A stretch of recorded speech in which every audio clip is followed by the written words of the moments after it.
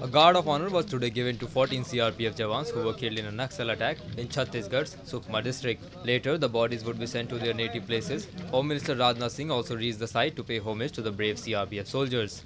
Using human shields, Maoist killed CRPF personnel, including two officers, and injured an equal number in the second attack on the force in 10 days in the same area in Naxal hotbed of Sukma. A senior Chhattisgarh police official said that the attack on CRPF squad by a large group of armed Naxals took place near Chinta Gufa, about 450 km from Raipur in, the dense forest in South Bastar region where the security personnel were returning to their camp after combing the area domination operated in the region that lasted for several days.